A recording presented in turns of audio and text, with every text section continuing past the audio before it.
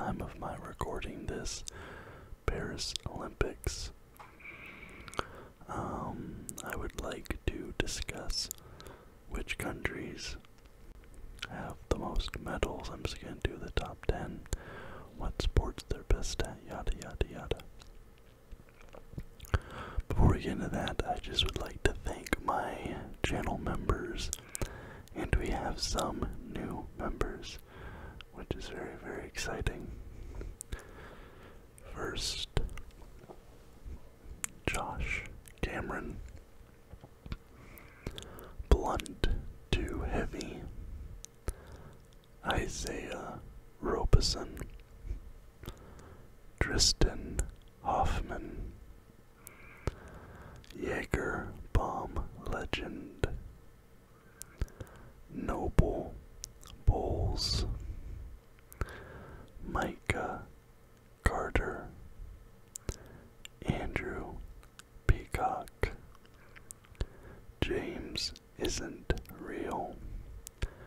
Andreas Anderson, Ria, and Ryan Peters.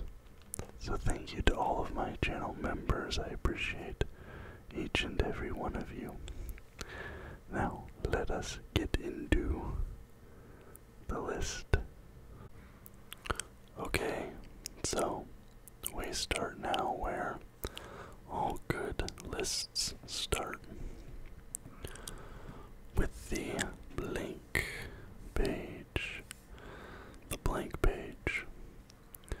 Now, I do want to make one thing clear. I am only discussing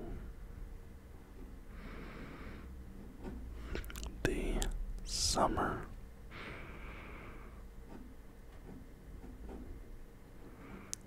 Olympics. I think your Summer Olympics are you're more popular, perhaps more um, what's the term? Revered, more respected games. Uh, you have different sets of countries excelling in Summer Olympics compared to Winter Olympics. Things like that. But this is just for the Summer Olympics. Okay. And we're going to start at number 10. So this is going to be a top 10 list. And taking up the 10th spot, now you have to think. Sure, you know, in you might think 10 is pretty bad. Looking at this, you might think like 10 is kind of bad because it's the bottom of this list, but think of not only how many countries compete in the Olympics, but how many countries there are in the world, and it's kind of impressive, honestly, to even be 10th. But anyway, at 10, we have the nation of Japan. And to be honest, I was kind of shocked to see Japan in the top 10. Uh, I don't know why, it just. It did shock me a little bit. I guess because they lost a war at one point and their athletics are pretty focused in one area. I don't know. But Japan has a total of 499 medals, and I expect,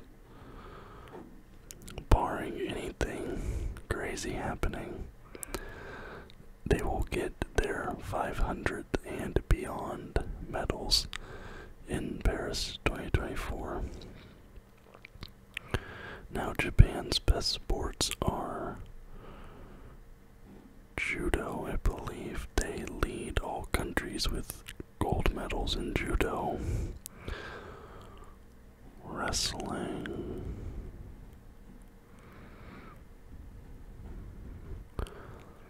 Uh, skateboarding, I know for a fact countries in skateboarding medals. And they also lead all countries in karate medals. And obviously, we know they also are a big baseball country. So, Japan, number 10.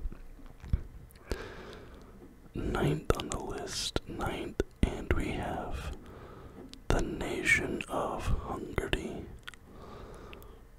Again, kind of shocking to see Hungary this high.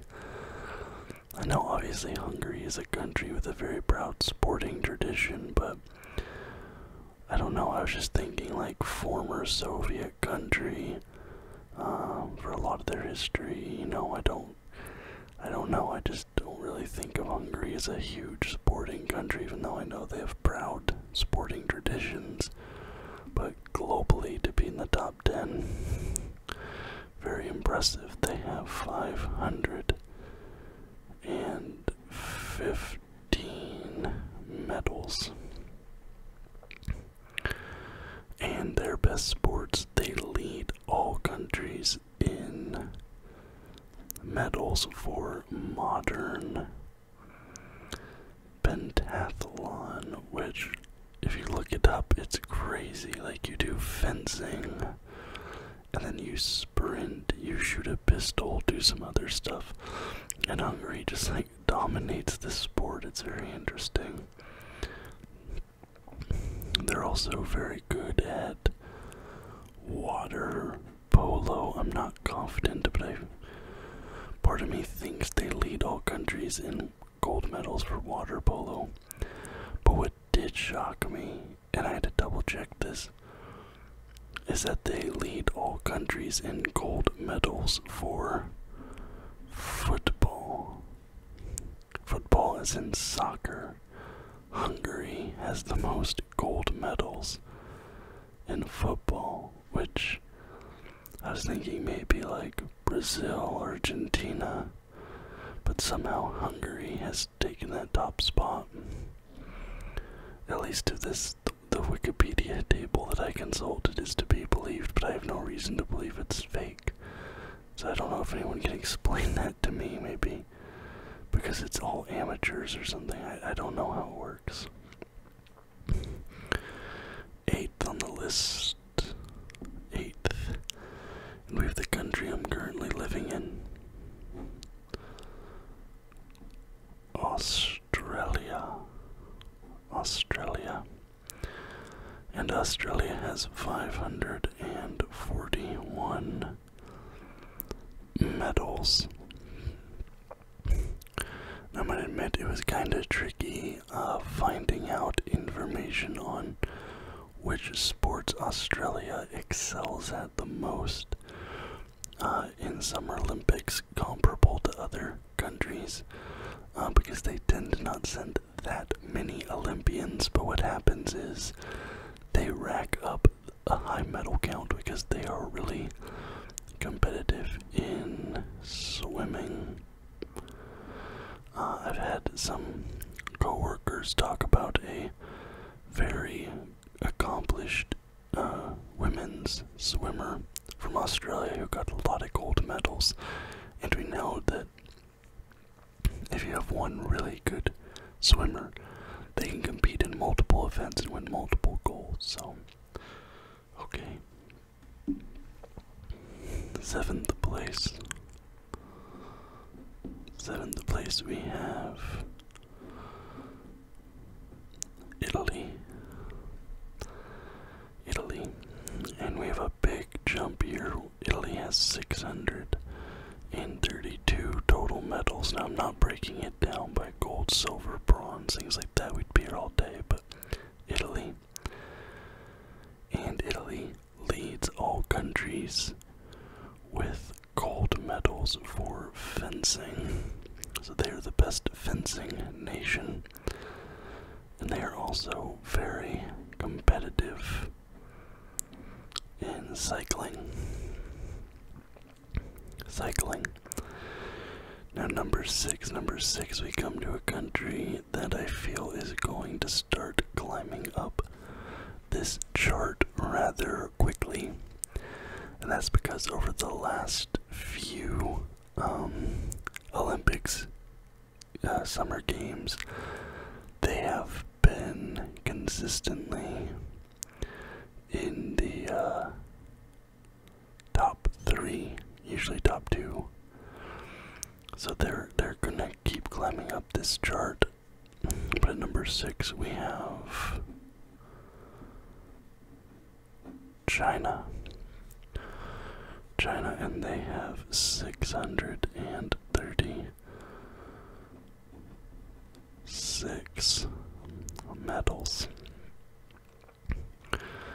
And they absolutely dominate table tennis. They lead all countries in gold medals for table tennis by a country mile.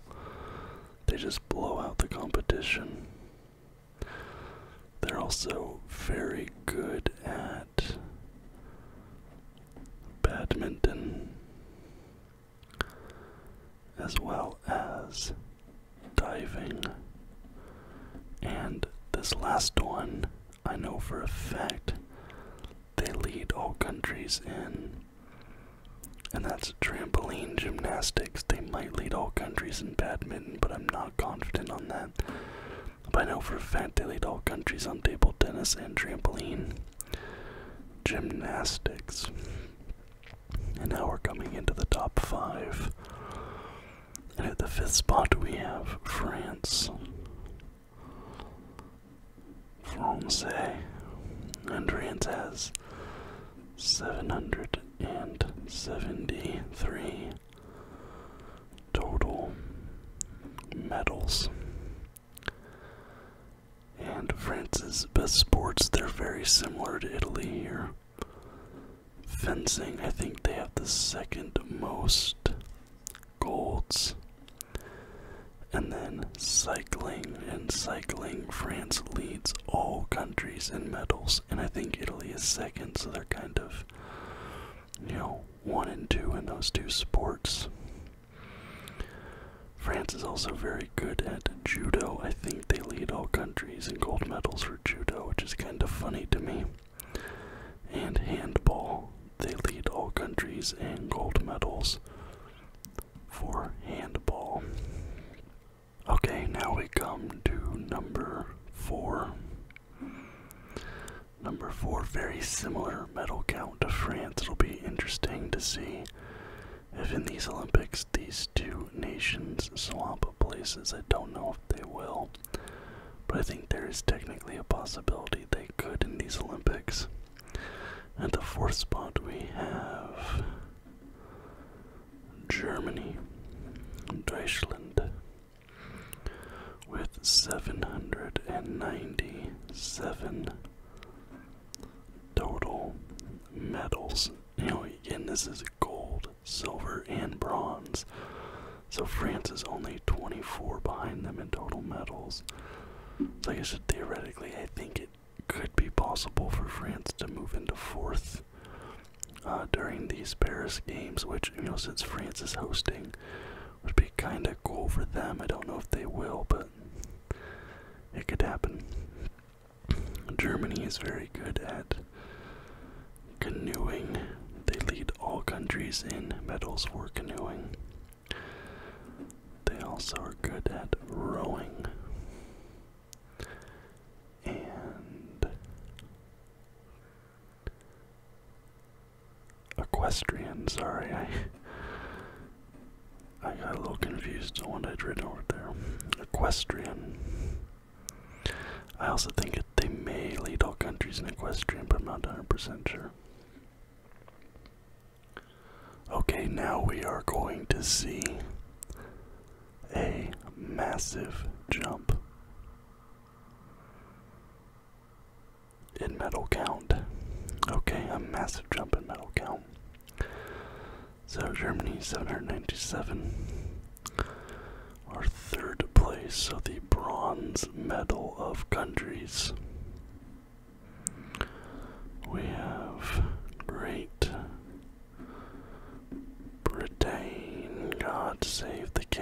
it's not Britain. I just said it funny. Great Britain. And they have 930 medals. No chance of them losing their third spot anytime soon. What's funny about Great Britain is looking at the sports they excel in. Um, Great Britain, cycling, similar to France and Italy there. But they're absolutely dominant in rowing, where they lead all countries in gold medals, and sailing.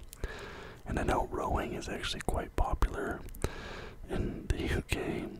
I know that purely because of um, the Top Gear Ground Force special, where they make over the lawn of a very famous Olympic rower. Uh, and obviously, hijinks ensue. But wealthy, uh, water based sports, very popular in Great Britain. Now we come to the silver medal, number two. Number two, and we have Russia.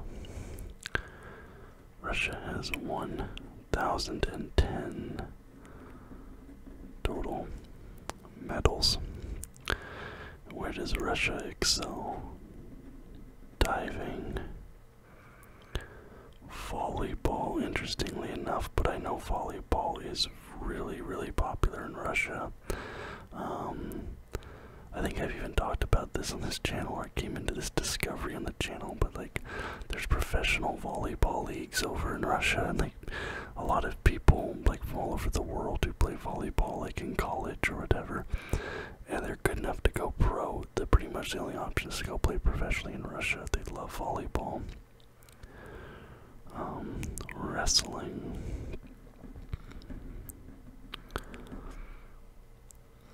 Boxing, of course, you have that iconic Soviet boxing style, which I absolutely love. I love the Soviet style of boxing. And, uh,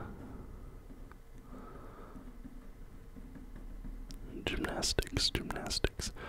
And number one, we all know number one is going to be here. Oh, say, can you see by the dawn's early light? It is, of course,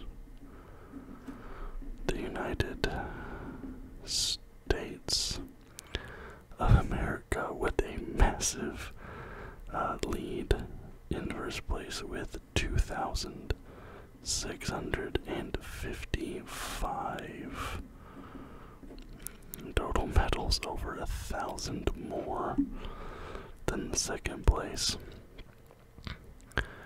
And the US's best sports, I narrowed it down to just three where they're dominant. Basketball, they have the most. Uh, baseball, they have the most medals. That is swimming, obviously. obviously Michael Phelps. You think about the U.S., they've excelled at so many sports. Boxing, I believe the U.S. has the most gold medals in boxing. You look at the current gymnastics team. Obviously, Simone Biles is a international superstar. She's like inventing new moves that are being named after her. The United States leads all countries in gold medals for tennis. Can thank the Williams sisters for that, but so these are your medal counts. Now, I'm not the biggest watcher of the Olympics, but I just want to leave, uh, I want to put on my poli sci major hat here for a second. I know there's been a lot of talk recently of countries uh, asking themselves if it is worth it to host the Olympics or if it is worth it to send athletes to the Olympics because of the economic burden that it takes. And obviously, right now in the world, economically, things are not the best. So, a lot of people are asking hard questions. And maybe some of you are skeptical of the economic viability of this whole thing and whether it's a tradition that should continue. And I just want to leave you with this one parting thought.